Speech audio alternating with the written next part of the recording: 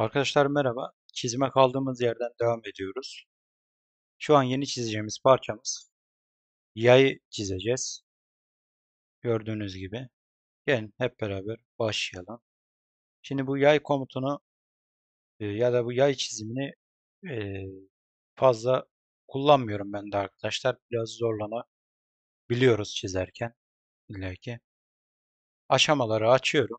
Önce geliyorum ilk aşamaya. Alt tab 1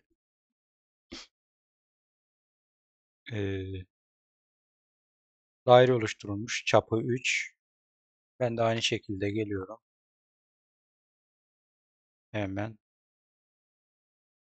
Ön düzleme. Geliyorum. Şuradan merkezden çizeceğim. Şuraya bir daire çapı 3 olacak ve alttaki çizgimiz 9 milim. Şuradan bu iki çizgiyi çiziyoruz. 9 milim çizdim ve bunu kapatıyorum yay çizeceğimiz için. Aynı düzlemde iki farklı işlem yapmamız gerekiyor. Yapmamız gerekiyor. Yoksa hata veriyor arkadaşlar. Şu çizgimizin hemen geliyorum çizimi açıyorum. Bunun boyuna bakıyorum. 82 bunu kapatıyorum. Şuraya kendi çizimimize geliyoruz. Tekrar ön düzlemden bir çizim başlatıyorum. Şuradan.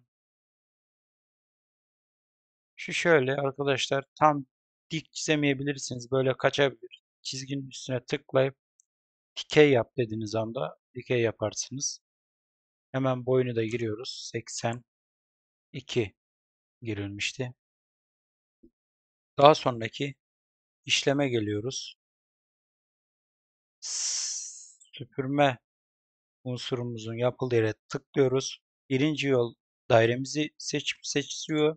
İkinci yol ise yayın oluşturulacağı yolu seçin diyor. Ve şuradakilerin de aynısı yapacağız. Devir 8'miş arkadaşlar. Devirler. Normal sabit tut. Kıvrılma değerini belirtin. Devirler 8. Hemen aynı işlemi gerçekleştirmek için kendi çizimime dönüyorum. Şu şekilde geldik süpürme işlemine. Birinci parçayı seçtik. İkinci çizimi seçtik. Pardon. Şuradan normal sabit tut. Kıvırma değerini belirtin. Şuraya devirler diyoruz. Şuraya 8 yazıyoruz. Ve onaylıyoruz. Gördüğünüz gibi arkadaşlar.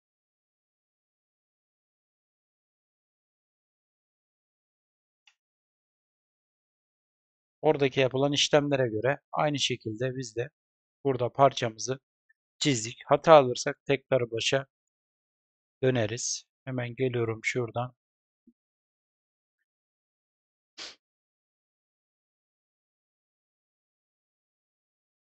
Renklendirme yapacağız.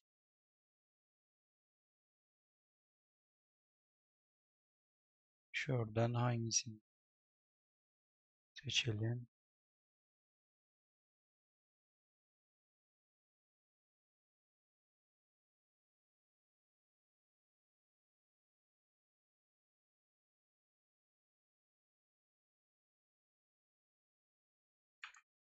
Evet arkadaşlar buradan Painted'den buradan bir renk seçeceğim yayım için. Renkli olsun ve şu da olabilir. Şu da olabilir. Şu da olabilir. Şu rengimizi seçtik. Evet.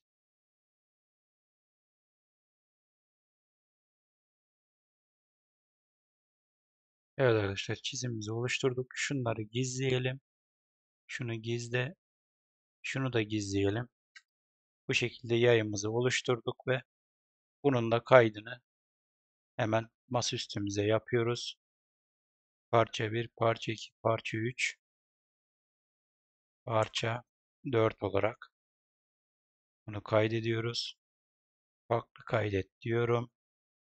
Bir tane de resim olarak kaydını yapıyorum.